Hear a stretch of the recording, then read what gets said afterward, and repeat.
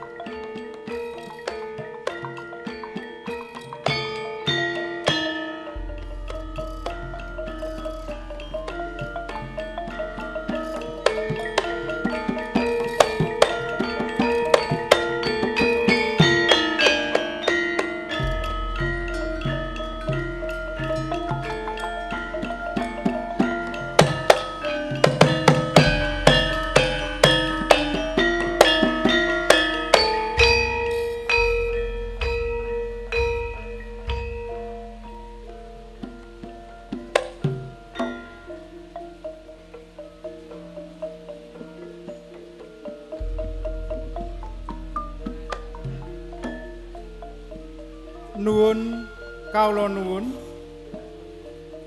Bapak Ibu lan para kadang kinasih. Berkah dalem. Sugeng Natal lan sugeng dalu. Seket taun kalenggan menika Bapak AN Suwardi Mengku Bale Griya Gesang Bebrayatan Sesarengan. Ibu Yuliana Wartina.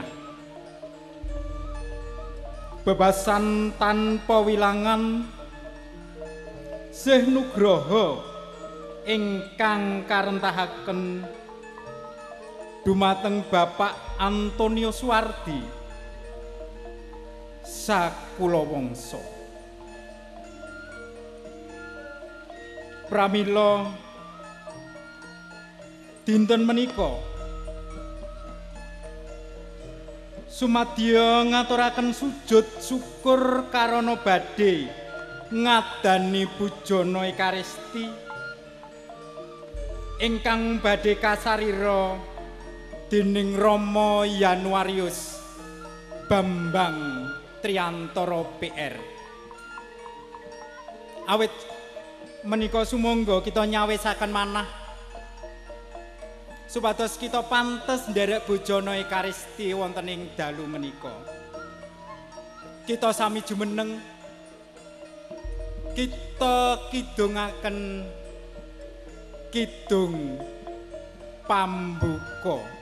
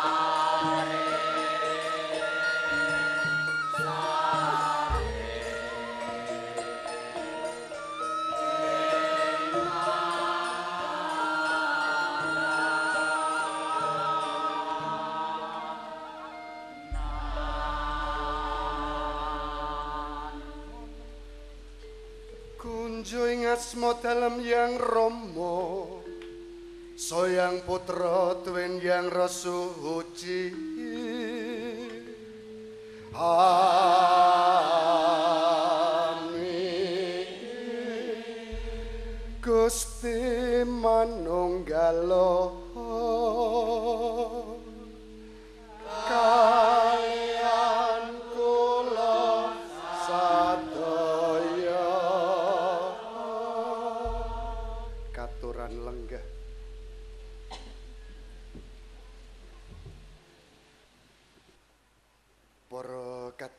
kinasih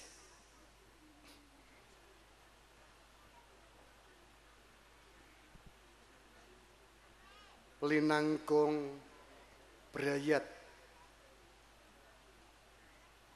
Mbah Antonius Suwardi Yuliana Wartinah para putra wayah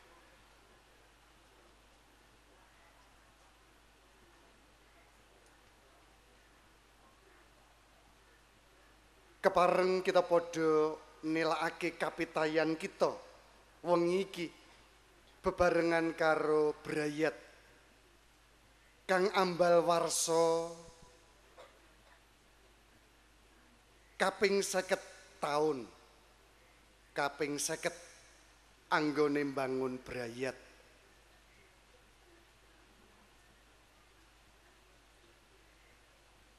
Mestine wae minangka umat kang percaya marang pangreksa dalem Gusti ing sakjroning urip.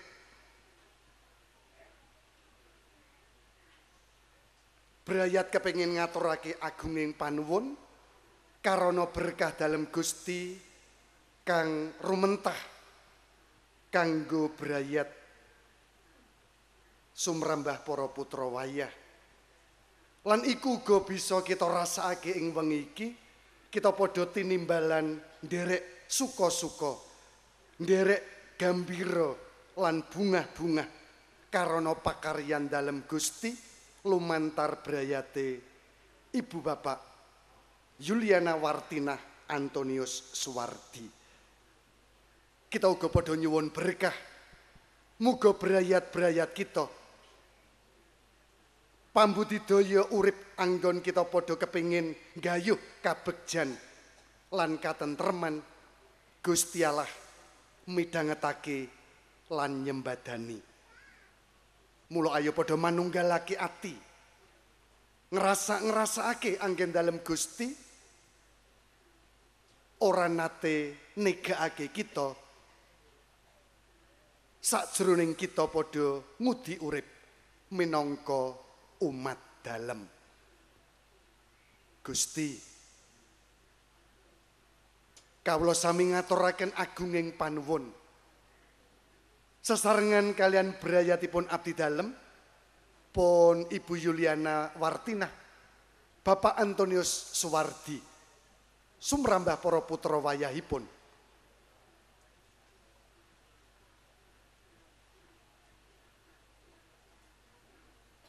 Kawula sami kepareng ngalembono anggen dalem makarya. Lumantar gesanging brayat.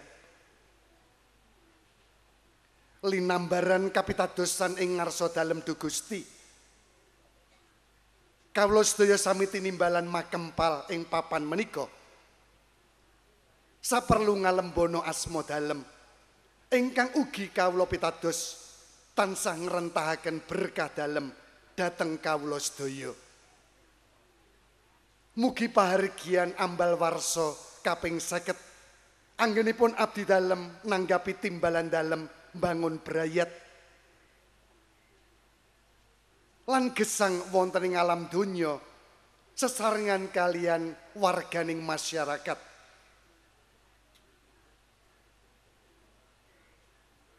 Kawula sedaya sami wantun asung paseksen bilih boten wonten kegiatan sanes lan daya ingkang jalari kawula saged nindakaken ayan. Menawi kawula boten rumah kecaket kalian sampeyan dalem. Mugi kapitadosan ing ngarsa dalem ingkang dados lambaraning gesang lan ugi lambaraning pahargian ing dalu menika saya mindak-mindak katanem langkung lebet wonten ing gesang kawula.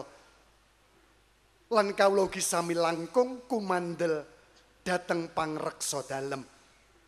Kaberkahono kawula sedaya mugi pahargyan ing dalu menika saya ndadosaken kawula sami wantun ngalembono asma dalem lumantar gesang kawula lumantar pakaryan kawula lumantar pasrawungan kawula. Duh Gusti, kawula akeni bilih asring kawula. Ngraosaken lan ugi ngalami karana kawontenaning gesang. Kawula asring nebih saking ngarsa dalem. Kawula asring pita, kirang pitados dhateng pangreksa dalem. Kawula asring mangu-mangu dhateng ngarsa dalem karana kawontenan. Milanipun asring kawula kepingin melajar saking ngarsa dalem. Milanipun ngakeni kasakingan kawula. Langkung-langkung anggen kawula bangun brayat. Asring kirang raosaken katentreman. Awit kawula nebih saking Gusti. Kawula sami ngasih-asih lubering sih palimir modalem kawula ngakeni ing ngarsaning Allah ingkang maha kuwasa tuwin para sedherek bilih kawula sampun nglampahi dosa sarana gagasan tetembungan tindak tanduk tuwin margi nglirwaken kewajiban awit saking lepat kawula saking lepat kawula saking ageng ing lepat kawula. Pramila kawula nyuwun ing ngarsanipun Ibu Kenya Maria para malaikat tuwin para suci sarta para sedherek sedaya karsa nyuwunaken ing ngarsaning Allah Pangeran kawula. Gusti Allah sumbering katentreman lan kabegjaning urip. Kersa paring palimirma lan pangapuraning dosa sarta nuntun marang urip langgeng. Amin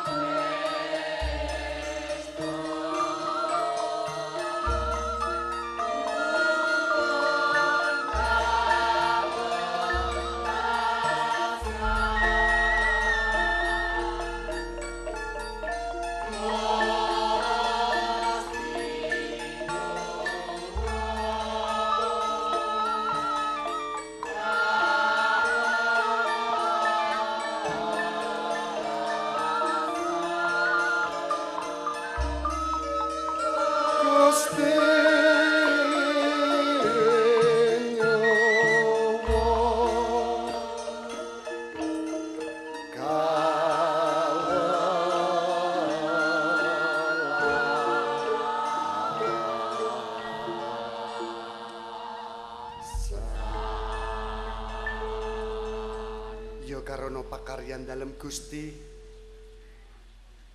Kang tanpa kendhat tansah kawedhar lumantar uripe manungsa uriping brayat. Luwe-luwe brayat Ibu Bapak Yuliana Wartina Antonius Wardi bebarengan ayo padha jumeneng. Kanthi penuh rasa atur panuwun ngalembono pakaryan dalem Gusti ngalembono asma dalem Gusti kanthi ngaturake kidung kamulyan minolya ala ing aluhur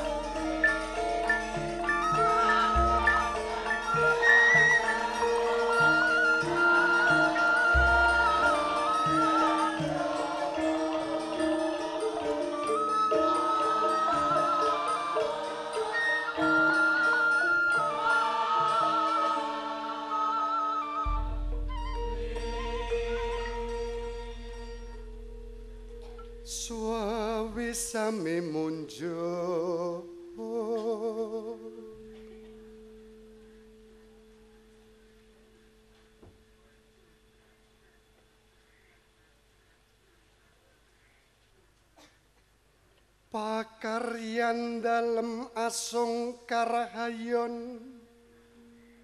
Sampeyan dalem paringaken dhateng umat manungsa Gusti.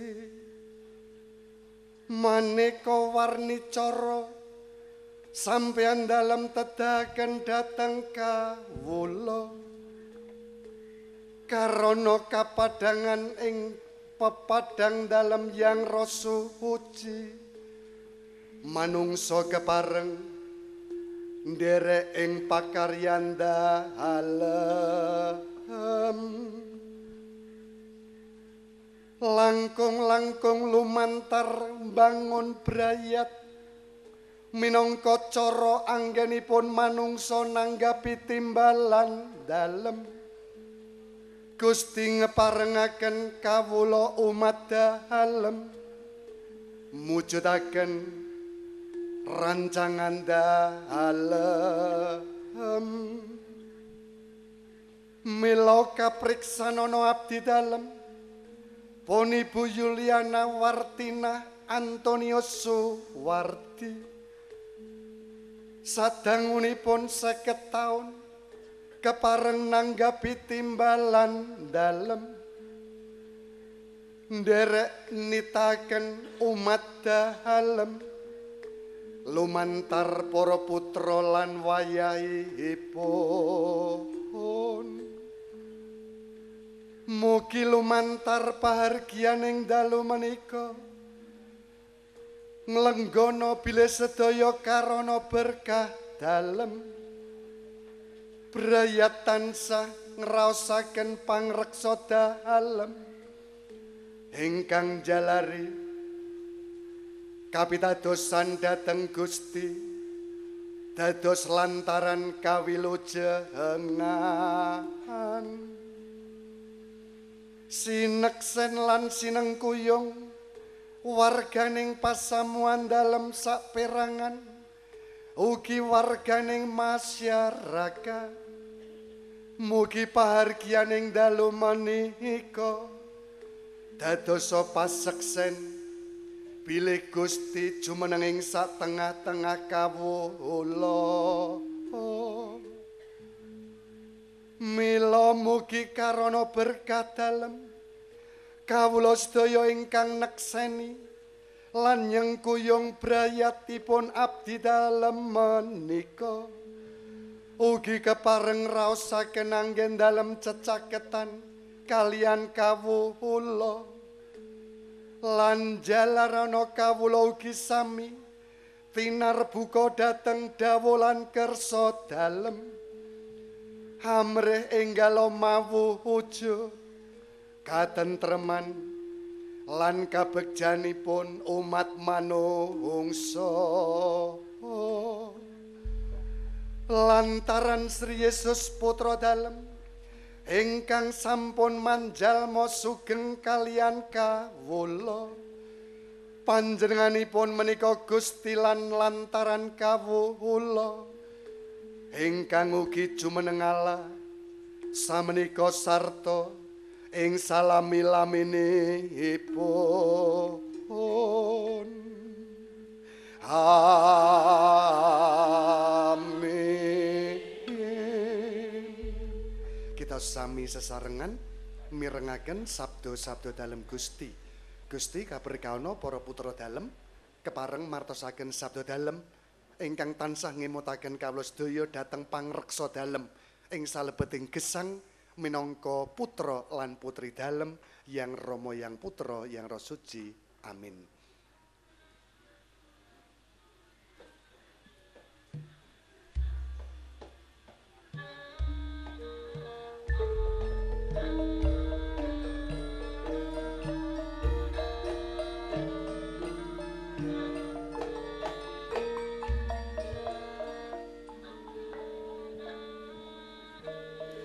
Waosan kapethik saking seratipun Rasul Paulus dhateng umat Roma.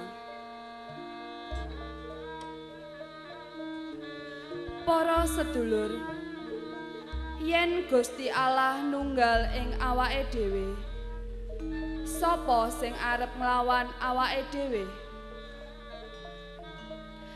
Dalasan putra dalem wae ora dieman. malah dikorbanake. Apa samu barang ora bakal diparingake aku? Sopo sing arep nggugat para pinilih dalem?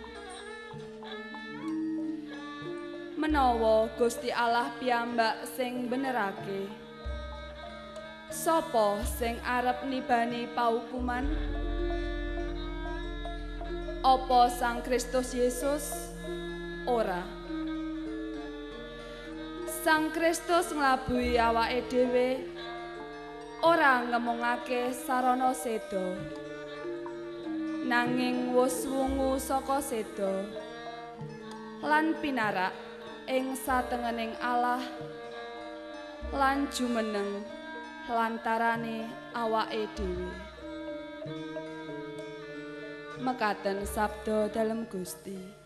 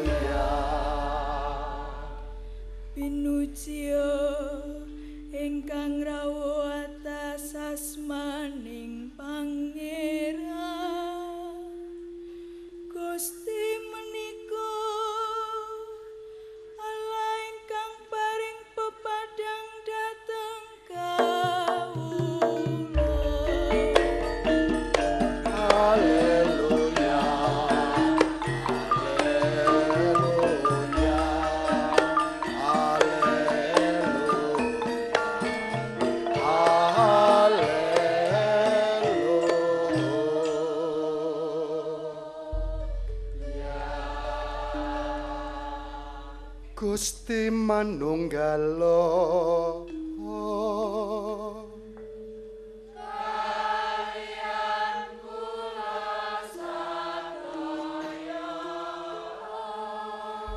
Podian Injil suci anggitane Santo Markus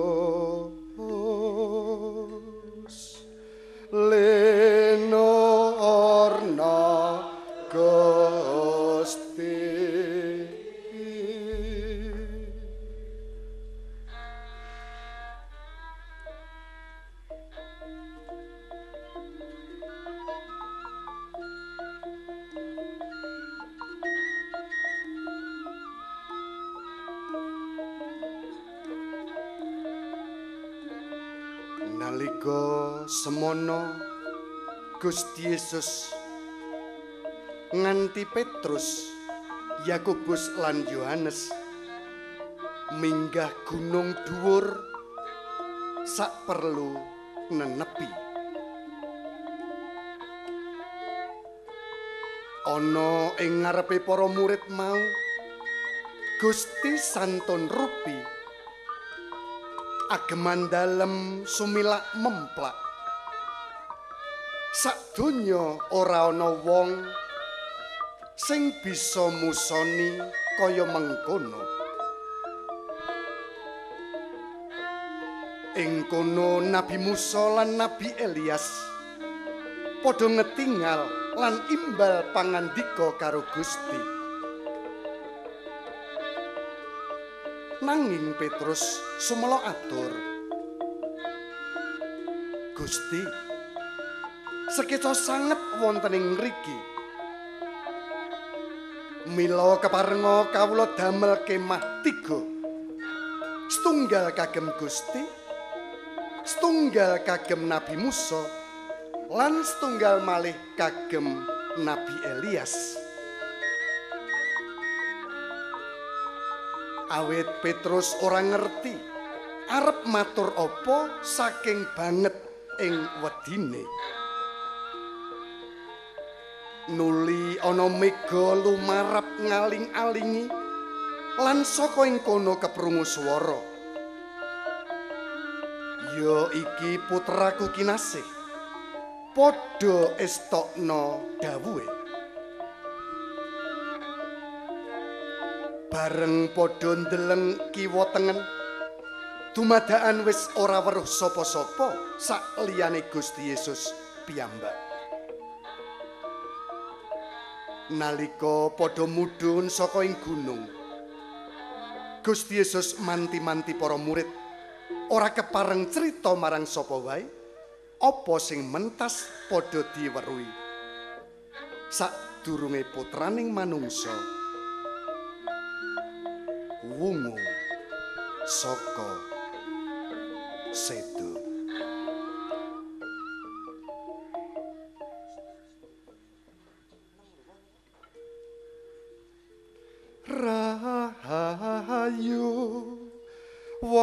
uripe selaras karo sabda dalem. Lan ngugemi dawa-dawa dalem.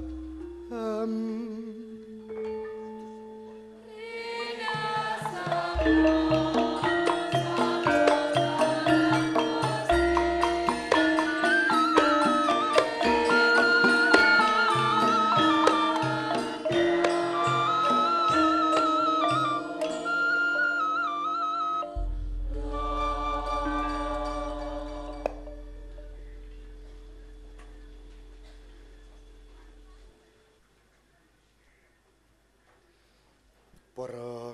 yang kinasih.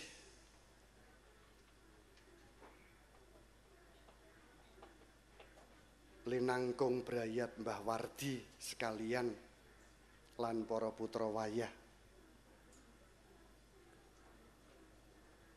Seragami anyar Mbah ya putra-putra wayah nggih. Nek HP-ne Mbah anyar apa Mbah? Oh, tak pikir anyar kok. Nderek mesuci kok karo nyawang HP ngono lho dadi ya. Mbok ya HP niki dipateni sik dikeke ngetas iki nyengkuyung simbah sing lagi mahargya ulang tahun iya anggone mbangun brayat kang kaping 50. Heeh. HP-ne putra-putra dipateni mbokan. ora-orane yen kiamat yen ora nyetel HP ya ora-orane yen kiamat. Kurang luwih sak jam setengah lah, sak jam setengah. Hah? Rong jam ya, kurang luwih rong jam. Manut pamundute Mbah Warno saka Polokarto.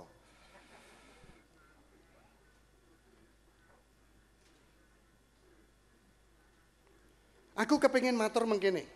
Sepisan marang kang padha rawuh. Mboten sah domeri nggih kali Mbah Wardi nggih. Mboten nggih, mboten sah domeri.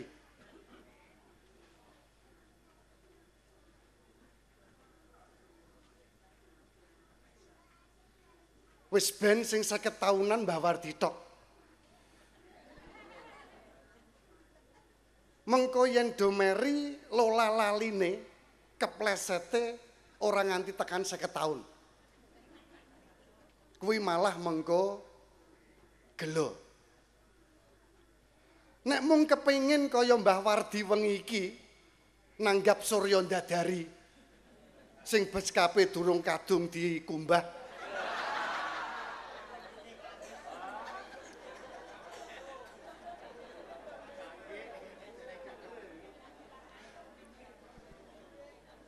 Rasa ndadak do ngenteni ulang tahun 50 tahun.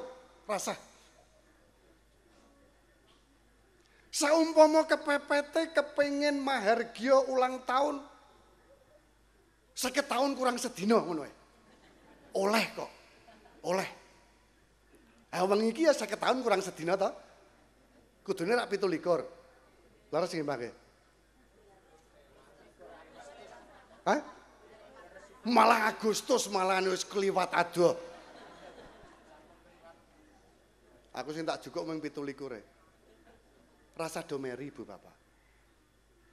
Mbuh tekan 50 tahun, mbuh ora tekan 50 tahun. Sing baku uripe awake dhewe ngalami bejo lan tentrem. Pun niku mawon. Dadi pitakonane kanggo sing padha rawuh aku panjenengan kabeh klebu sing lagi nulis kae.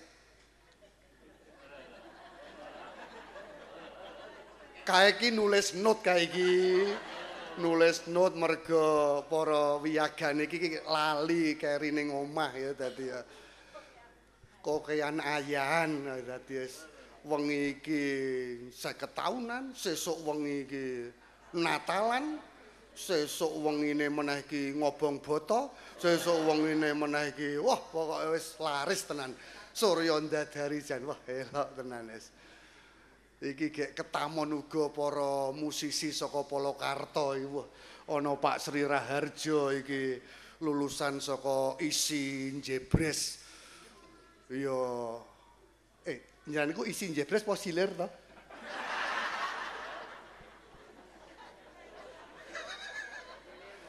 terus Mbah Warno iki wah Mbah Warno iki wis ngentekke gender pira wae aku wis ora mudeng ngantek untune entek walah jan wis terus Pak Wardi ya Pak Wardi sing gondrong iki wah jan wis daleme dienggo museum wayang wah nalika aku sowan waduh aku arep digambar wayang wis ane sing cocok kanggo aku ki ya apa ya tokoh apa to nek kanggo aku wayang ki Hah? Janaka mbahmu kuwi.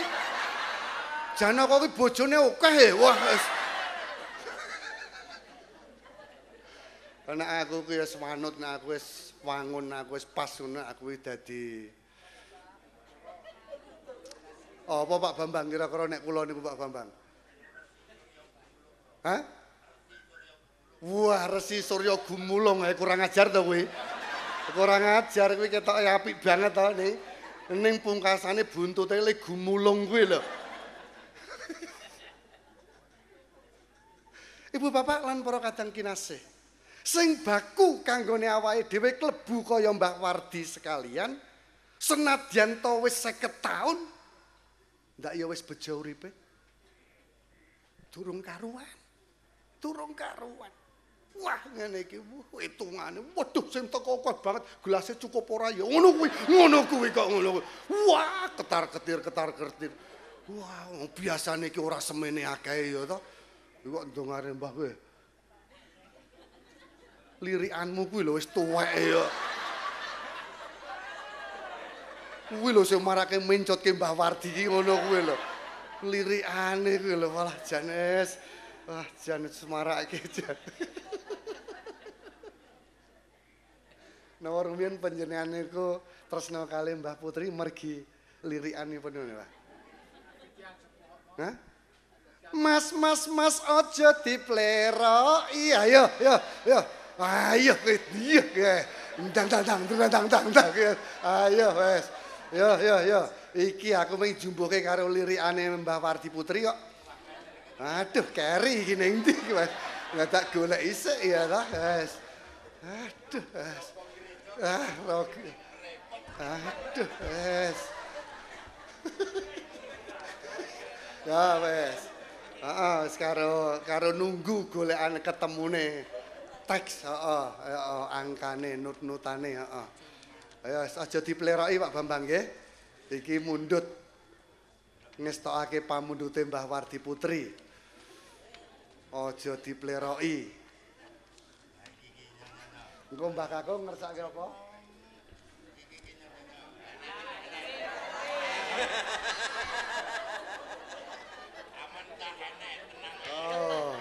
Mangke Mbah Wardi Kakung ngersaken bojo galak.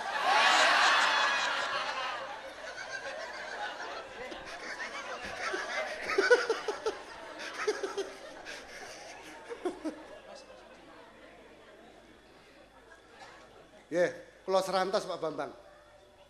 Kula serantos. Panjenengan kalian nyerat-nyerat nggih mboten napa-napa. Sampun. Mas, mas, mas aja dipleroki ngono ki ya. Eh. Ayo Bu Tris, Bu Tris. Bu Tris panjenengan pengen mic. Heeh. Karun joget.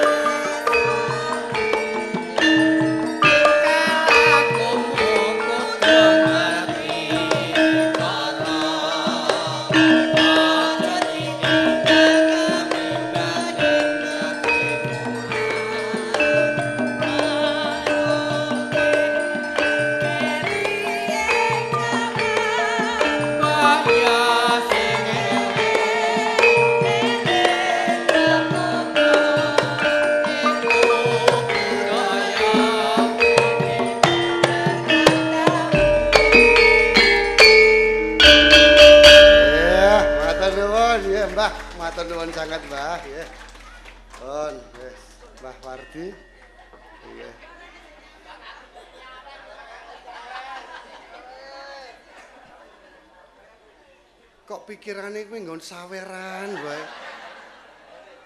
Iki ki mangayu bagya lho.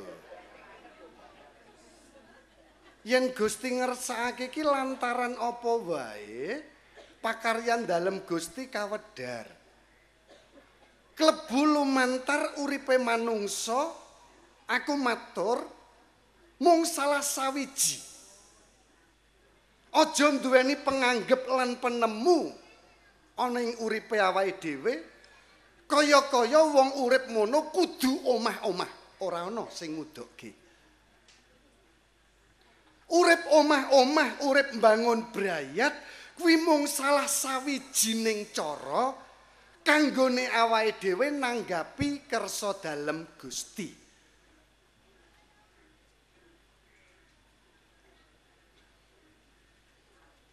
Dadi penemu sing kerep kita rungu ana ing masyarakat. Yen wong urip ngono kudu omah-omah. Sing lanang kudu omah-omah karo wong wadon, wong wadon karo wong lanang. Nek ora omah-omah ki jarene wong sing ora umum. Ah repot no aku no.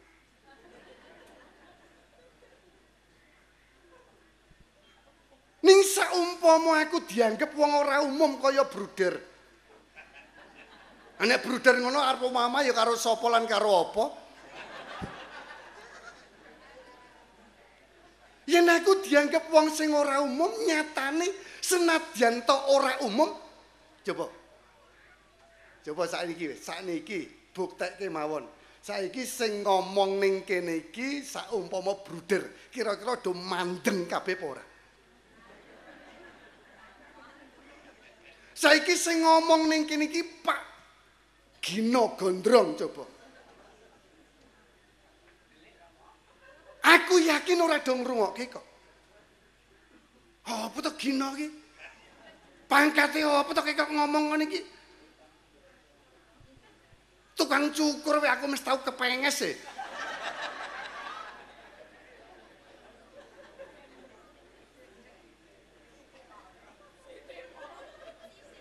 Lho sithik ya perih ya. Aku ya terus weling Pak sesuk meneh iki nganggo anu sabun. Dadi nek ngerik ki ora patiya perih ngono. Lah kok suwe-suwe ki ya sabune ki ilang meneh to. Pangkatmu apa? Derajatmu apa? Lah kuwi derajat. Lan kuwi sing kerep padha kita rasake. Mbuh kuwi omah-omah, mbuh ora omah-omah, pitakonane mung sawiji, uripe bejo apa ora. Hidup bahagia atau tidak. Mula tujuaning urip kaya dene Mbah Wardi sekalian lan uga putra wayahe uga titikane padha. Nah, pitakonane Mbah Kakung panjenengan sampun ngraosaken kabejan napa dereng? Sampun. Mbah Putri sampun. Tegese sesuk do tinimbalan Gusti. Ah. Lah wis rampung kok. Tujuane iki ming kuwi kok. Saiki sadurunge tinimbalan Gusti, saiki pirsanana putra wayah panjenengan jumeneng. Wis do kumanan lemah dhewe-dhewe apa durung?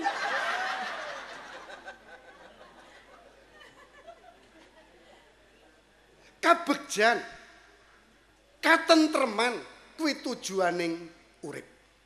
Mbuh kuwi dadi rama, dadi bruder, dadi suster, urip omah-omah, apa meneh uga jamane saiki, urip dhewean ora omah-omah, ora dadi bruder, ora dadi suster, ora dadi rama, kuwi ora dadi pepalang kanggone Gusti ngetingalake pakaryan dalem. Mulane aku matur aja padha duweni pangira, oh kae ora omah-omah, kae mesti ora payu. Ora. Oh kae ora omah-omah, kae mesti wong sing ora umum. Ora. Mergo titikane kabegjan lan katentreman iku mau dununge ana ing panggonan uripku migunani apa ora. Mulane 50 nganti tekan 50 taun nek uripe ora migunani ya ora ana paedahe. Ning senadyan to lembangun brayat pindhane lagi seumur jagung.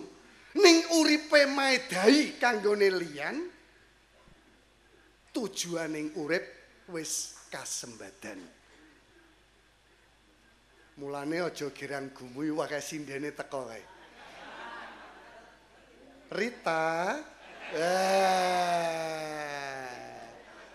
Aku ki mataku ya ya awas-awase ngono ta. Ana mak cleret ngono ya awas jan. Eh, Sing tak awasi langsung mak plengeh ngono wis. Sekedap Bu nggih nyerantos nggih Bu nggih. Nggih Bu nyerantos mangke ngantos dumugi jam setunggal enjing kok Bu nggih. Ngerantos Bu. Sugeng rawuh Bu. Saki. Suki. Hah? Sarmi, walah janes. Mbok yo ora gawe jeneng dhewe to. Apa yo kurang asin po yo? Kok Sarmi iki? Nggih. Hah? Sarmi to? Ah iya, apa ya kurang asin. Kok disaremi iki?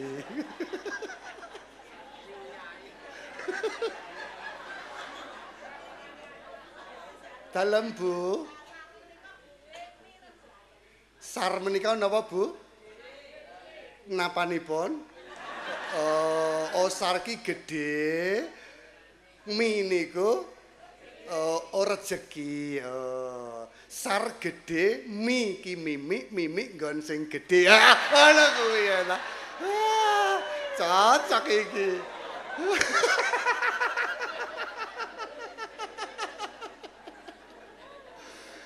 Sar ki gedhe, mi ki.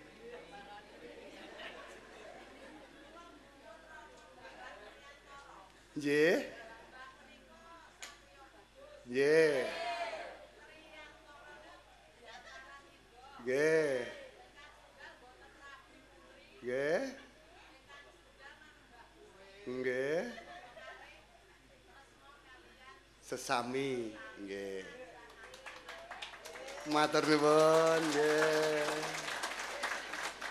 Tresna kalian sesami lan pungkasan tresna kalian sarmi. Ah! Kekuk kekuk.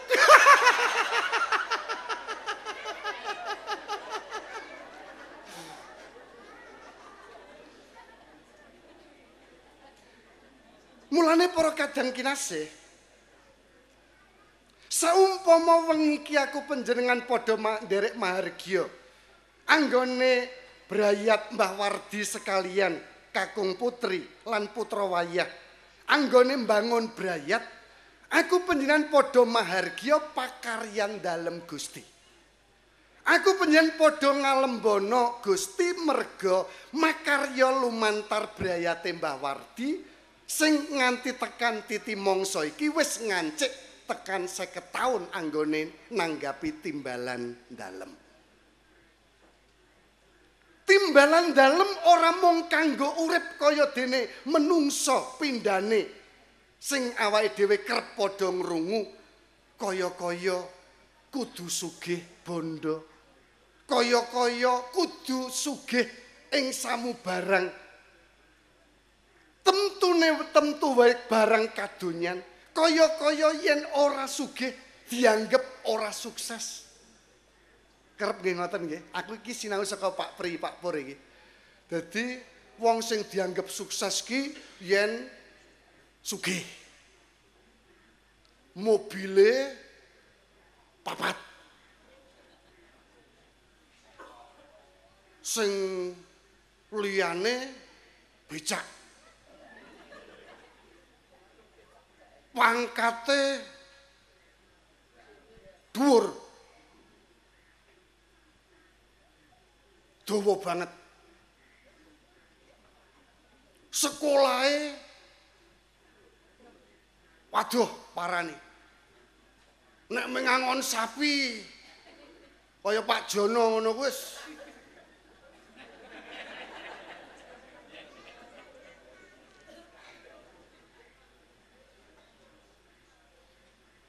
Sukses ki ku- tegese kudu duwe apa sing dening donya dadi ombyake. Kuwi sing kerep kita alami. Kamangka pindhane omahe gedhe, magrong-magrong, joglo lan sak piturute. Apa mesti seneng atine durung karuan. Mulane kaya Mbah Wardi iki bingung, waduh, pahargyan wengi iki arep ning endi? Mergo daleme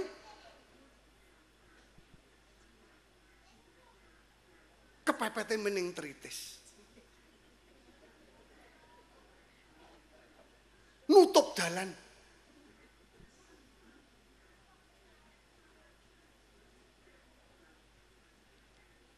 Mergo mengko gegeden omah, kamangka sing ning dalem ing piyayi loro karo Pak Jono, liyane Doboro ning ngendi papan? Malah ora tentrem. Kekeselen nyapu. Ning nek ciut kaya mengkene iki nek ming winates senadyan pas pahargian kudu ning latar lan sak piturute sing baku atine tentrem.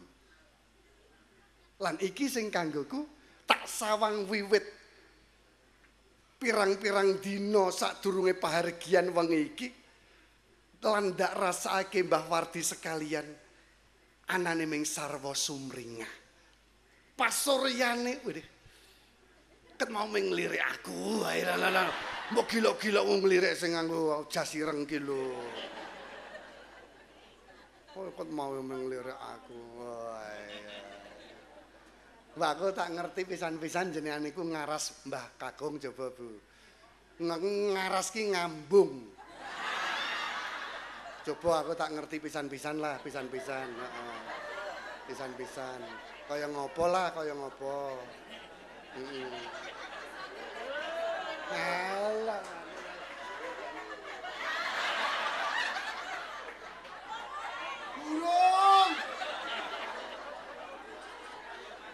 Eh coba.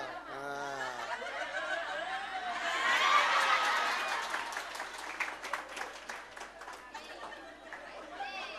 Ap- apa ya dadak kudu tak ajari? Sa- Saya genti Mbah Wardi Kakung coba. Hah? Ya beda no Mbah. Wong tembunge bebrayatan niku padha dene kok Mbah. Nek penjenengan ngaras, terus Mbah Wardi ya genti ngaras. Monggo Mbah Wardi nggih. Aku kira janjane meng tukang foto anu gawean tukang anu fotografer janjane. Heeh. Ben duwe gawean ngoten lho. Monggo Mbah. Nggih. Heeh.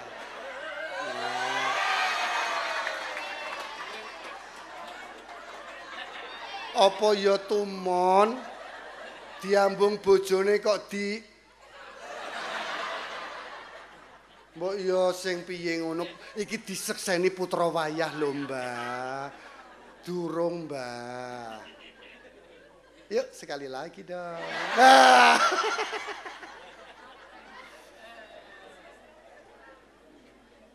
Para kadang kinasih. Mulane kanggoku senadyan tombok menawa kepitung ana ing masyarakat dianggap ora umum. Aku ora wasumelang. Yen Gusti Allah manunggal karo aku waosan kang sepisan. Sopo sing bakal gugat pilihan dalem? Lan iku kanggoku sabda dalam Gusti lumantar Santo Paulus marang umat ing Roma ana ing wasan kang sepisan mau dadi dasar kanggone uripe awake dhewe.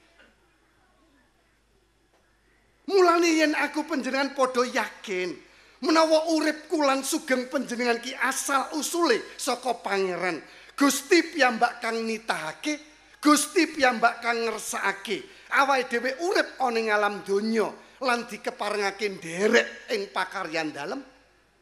Saumpamaku krungu tembung wong kok ora umum ora omah-omah wong kok ora umum kok ora urip bebrayatan? Jawabanku cetha apa kira-kira? Sing bakal tak onek tak tak nggo jawaban apa kira-kira? Persetan lu. Ah ngono. Persetan marang omonganmu. Saumpama aku urip kaya mengkene ya ora ganggu kowe to.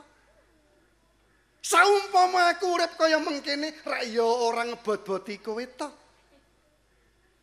Iki urip pilihan-pilihanku dhewe lan aku percaya Gusti ngersakake mula kanggoku ora ana sing tinemu tembung kuwi ora umum.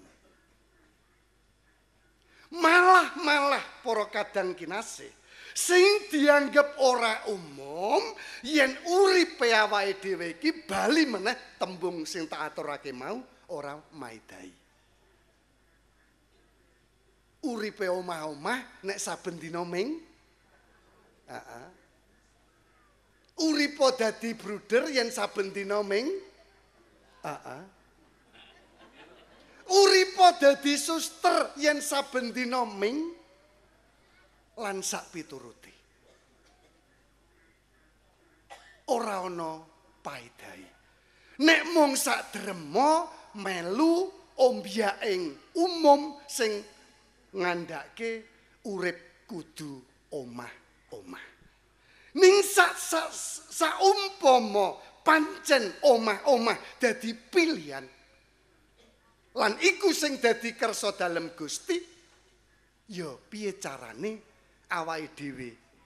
Bangun brayat. Kaya waosan Injil kang padha kita pireng kinanten wani bangun semangat korban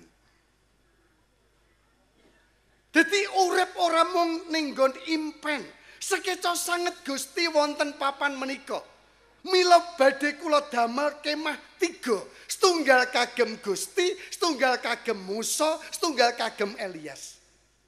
Gusti ora karenan ing penggalih. Mirengake ature Petrus kepengin gawe kemah ana ing Gunung Tabor.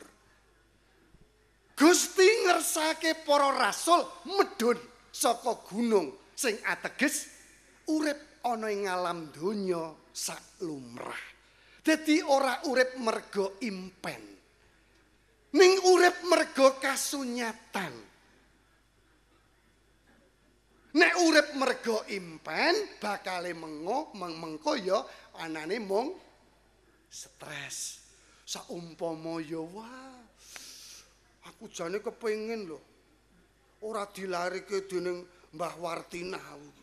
iki anak ya sak umpama anak umpama putra jenengan nonton sing ngono aku wah jan wah gelo janjane dilarike Mbak Bu Wartina iki aku jan aku kok pengen dilarike anu dening Bu Polo kok janjane kok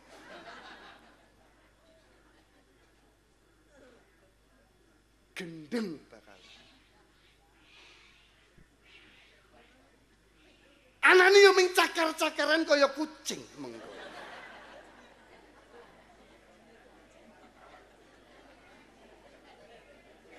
Nek wis tekan nggon cakar-cakaran ngono kuwi wis ora ngelingi ana ra duwe isin ra duwe apa ngerti ana pahargian yo meyang-meyang cakar-cakar ming arep kawin ora ora isin kucing kuwi. Nek awake dhewe dudu kucing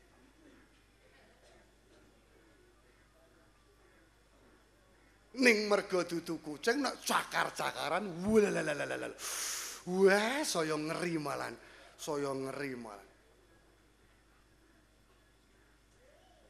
Wih, elok tenan. Nggon lagune Betaria Sonata, Mbah. Wah. Berulang kali aku mencoba untuk selalu mengalah. Wah, elok kuwi Mbah ku lagune ku. Wah, aku sing ora omah-omah rasane wah jane. Hmm, jane rasane Mbah.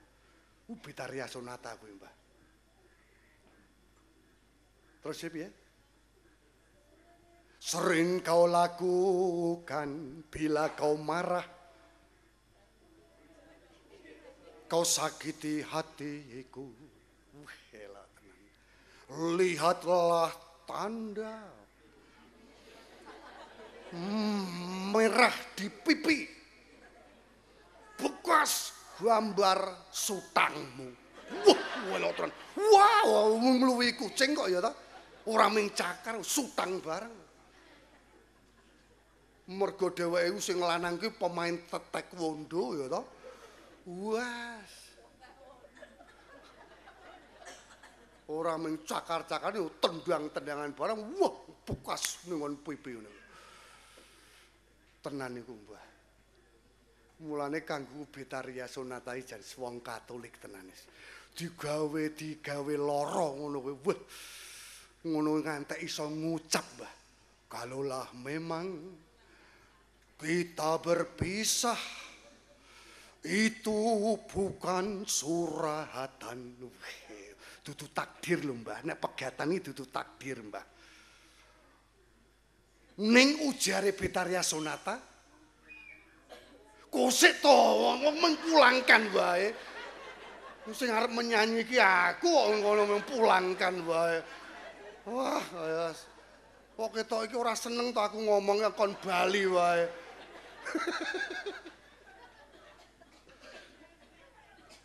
Rasaku kudu wani ngadepi kasunyatan. Nek anane ming impen wah urip omah-omah ki wah harmonis, wah kecukupan, wah lan sampe waduh. Awake dhewe bakal mlebu rumah sakit jiwa. Apa meneh yen ngugemi sabda dalem Gusti ngendi sing maune loro saiki dadi siji apa sing ditunggalke dening pangeran menungso ora duweni hak misah? Mbah panjenengan timbang-timbang Mbah. 50 taun antarane le urip guyub karo le padudono kae Mbah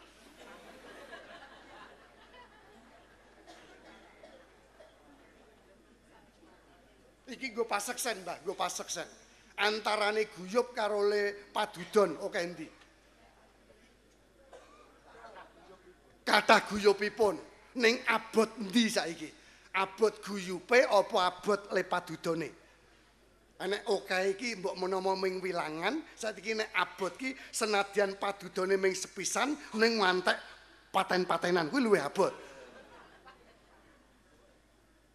Ah, saiki abote abot ndi? Abot guyupe apa abot le padudon? Ad- Abot le guyub. Le ora percaya, kita ora percaya Mbak Putri, ora percaya. Iki tak emeng etak-etak iki tak.